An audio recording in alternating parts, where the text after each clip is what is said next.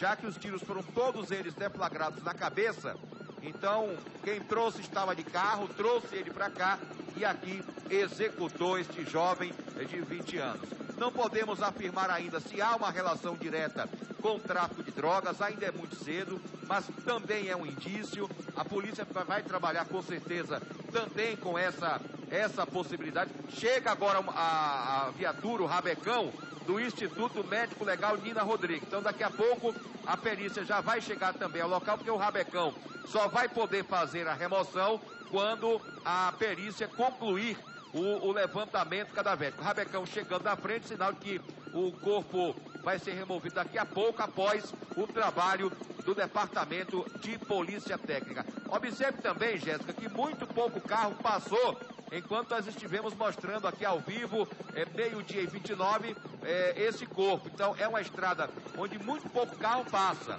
Somente quem trabalha para o lado de cá é quem tem acesso a essa pista aqui, essa estrada de barro, nesse local onde a iluminação é precária à noite, alguns poucos postes que você vê aí nessa esquina é desta empresa e mais nada, né? Então, isso aí serve como chafariz para bandido trazer para cá e matar aqui, né? Esse ponto aqui, que à noite é, é, é, é, é terrível, é terrível.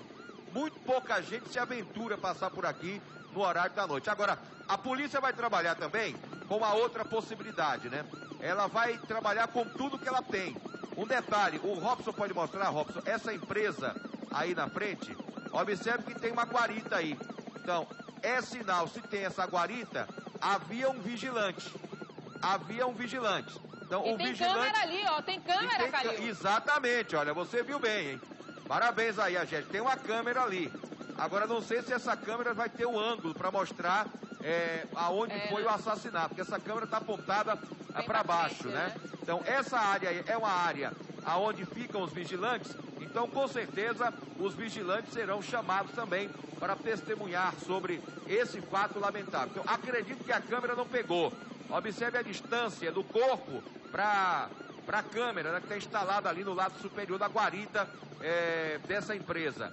Chega ali agora o policial, né, aliás não, é o rapaz do Rabecão, o agente ali do Rabecão já procurando ali alguma, alguma situação, né, mas é aguardar o departamento de polícia técnica para se ter uma ideia é, de como vai ser feito aí o trabalho de investigação dos homens da Polícia Civil, viu, Jéssica? Você me avisa, viu, Calil? A gente vai acompanhar esse trabalho da Polícia Técnica. Daqui a pouquinho eu volto. Daqui a pouquinho a gente volta com mais informações sobre este caso, mais esse homicídio. Vamos ver se identificam essa vítima, se por um acaso tem documentos. Eles não costumam deixar documento, não, mas a gente vai acompanhando. Daqui a pouco eu trago os detalhes para você. E você também vai ver que um rapaz, um jovem, 18 anos, matou o próprio pai com 19 tesouradas. Você pensa o que são, ó? 19 tesouradas no próprio pai, ainda atingiu a mãe. Eu trago já já esse VT depois do recado de Eliel. Boa tarde, Eliel. Boa tarde, Jéssica. Boa tarde para você que está assistindo Bahia no Ar. Presta atenção. A Superzon fechou uma parceria com a Consul. Está trazendo para você produtos exclusivos. Agora você tem o Superzon Consul Facilite. É esse aqui, o menor purificador com água gelada do mundo. É o menor. Não adianta procurar por aí que você não vai encontrar um purificador com água gelada menor que esse. Água gelada, você clica aqui, água natural, você clica aqui. Esse produto informa a época de trocar o elemento filtrante e ele tem a certificação bacteriológica. Ligue agora 32546100, porque apesar de ser um lançamento, tem um desconto para você. Ele atende até 5 pessoas na sua casa com água gelada. Quer um maior, com a capacidade de atendimento maior? Tem o Super Zone Digital. Esse produto aqui, que além de fazer todo o processo de tratamento da água, ele mostra a temperatura da água. Ele é um pouco maior, mas atende também uma família maior. Ligue agora 3254-6100, compre o seu. A Superzone não cobra pela instalação. Você recebe o produto na sua casa, compra nos estandes de vendas, na Caravana da Saúde ou na nossa loja online www.lojasuperzone.com.br. Jéssica, Superzone é presente, a saúde também é para você. E é, olha, o dia de ontem foi marcado por uma tragédia que infelizmente já não é tão incomum. Um filho matou o próprio pai. Um jovem de 18 anos assassinou o pai e esfaqueou a mãe dentro de casa no bairro da Vila Canária, periferia de Salvador. Bota no ar, por favor. Gerlan Perelo Dória Andrade, de 18 anos, foi encontrado dentro de casa horas depois do crime. Ainda ensanguentado, o rapaz foi preso em flagrante.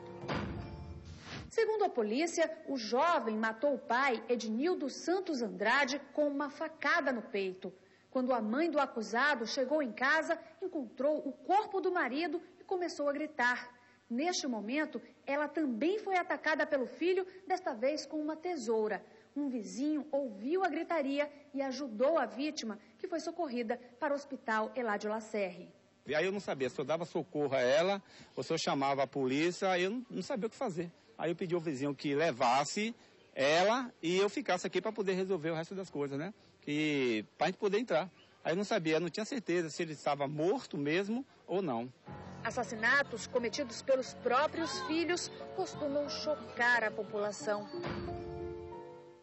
novembro do ano passado, depois de uma discussão, Emerson de Araújo Vidal, de 27 anos, esfaqueou o pai, Severino Laurindo Vidal, de 51, que morreu na hora. A mãe do rapaz ficou desesperada. Minha gente, ele, ele nunca fez isso com ninguém, nunca agrediu ninguém. Ele é para mim um bom filho, e o bom filho, pai dele também. Eu não sei por que aconteceu isso com meu filho, não sei sei como. Eu não sei como explicar, eu não tenho como explicação. Eu não sei. Um mês antes, Misael Moreira de Jesus também matou o pai, Martim de Jesus, com um tiro de espingarda. O caso aconteceu em Anguera, no interior do estado. Na ocasião, o acusado disse que a arma teria disparado sozinha. Que com meu irmão. Mano, tu tá discutindo com seu irmão e ele passou na hora e a bala pegou? Foi acidentalmente, então? Foi. Em Feira de Santana, outro crime em que um filho tira a vida do pai abalou os vizinhos da vítima. É muito chocante para nós, moradores de Limoeiro, porque nós nunca tinha visto uma tragédia dessa, um crime tão bárbaro desse. Um filho matar o próprio pai. Reginaldo Araújo teria chamado o filho para uma conversa. Dilson dos Santos Moreira, de 32 anos, pensou que levaria uma surra e acabou matando o pai com uma faca. Nem sempre os conflitos acontecem entre pais e filhos já adultos. Em maio de 2011, um adolescente matou o pai com três golpes de picareta. O crime aconteceu no subúrbio da capital baiana.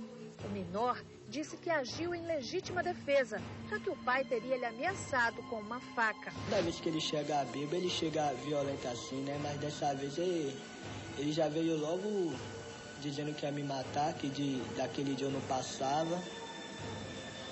Aí eu levei a sério e como o caso foi sério mesmo, que ele realmente teria me matado se eu não fizesse o que eu fiz. Rapaz, é, é inacreditável, a gente não consegue explicar. E eu me lembro de um caso, a gente discutindo isso aí, um caso de um rapaz que matou a mãe, degolou e saiu correndo com a cabeça dela no, no, na presa às mãos. Esse aí, o rapaz foi acusado de matar ontem o próprio pai. 18 anos ele tinha.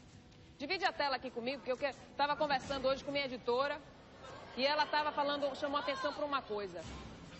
Divide aqui a tela comigo. Você pensa o que é um rapaz pegar uma tesoura, não foi uma vez nem duas vezes. A polícia disse que foram 19 tesouradas. Você pensa comigo: uma, duas, três, quatro, cinco, seis, sete, oito, nove, dez, onze, doze, treze, 14, 15, 16, 17, 18, 19 tesouradas.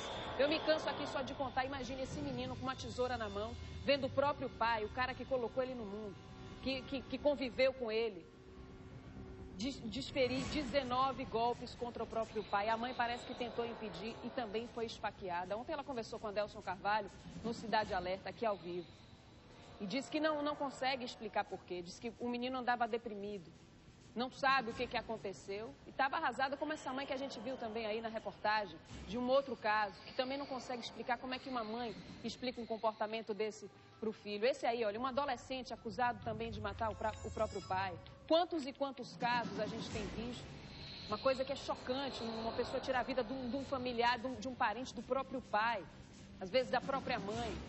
São esses casos que a gente tem visto. Nesse caso de ontem, uma vizinha conversou com a nossa reportagem disse que esse rapaz vinha apresentando um comportamento estranho.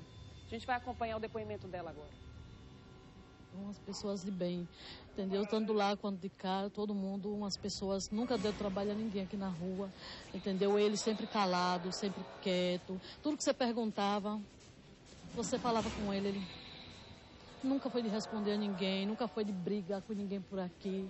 Sempre uma pessoa legal, mas, minha filha, de uns tempos para cá se envolveu nesse mundo e esse mundo é um mundo sem volta, entendeu? É uma estrada sem, sem, sem retorno, entendeu? E é isso, e é disso para pior, não é da agora entendeu? Eles come... assim que ele começou, os pais ficaram sabendo, já foi logo procurando correr atrás de emprego que ele não estava trabalhando, correndo atrás de curso, ele não queria estudar, e os pais ali, eu conversando com a mãe dele, mas Márcia, e ela, não, eu vou botar ele no caminho, vocês você vai ver, Deus vai me ajudar. Ele fez aniversário agora, ela toda contente, vocês vão fazer um bolinho para Charlan, fez um bolinho para ele aqui, tudo, a gente comemorou aqui, tudo, ele todo calado, todo fechado.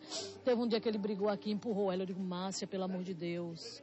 Aí ela é concessão, mas ele vai estudar, ele vai voltar ao normal, ele vai ser uma criança de bem, mas não adiantou.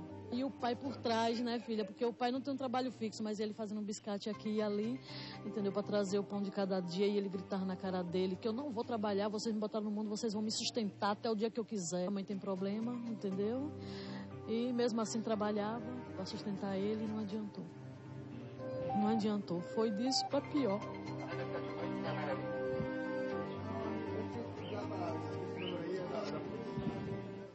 Olha aí, a vizinha disse que ele tinha, que acha né, que ele tinha envolvimento com as drogas. A mãe nega.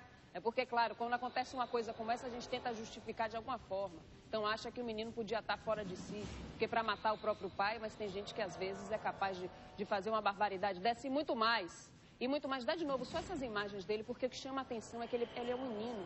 A gente olha para ele, ele é um menino. Recém-saído da adolescência, 18 anos de idade.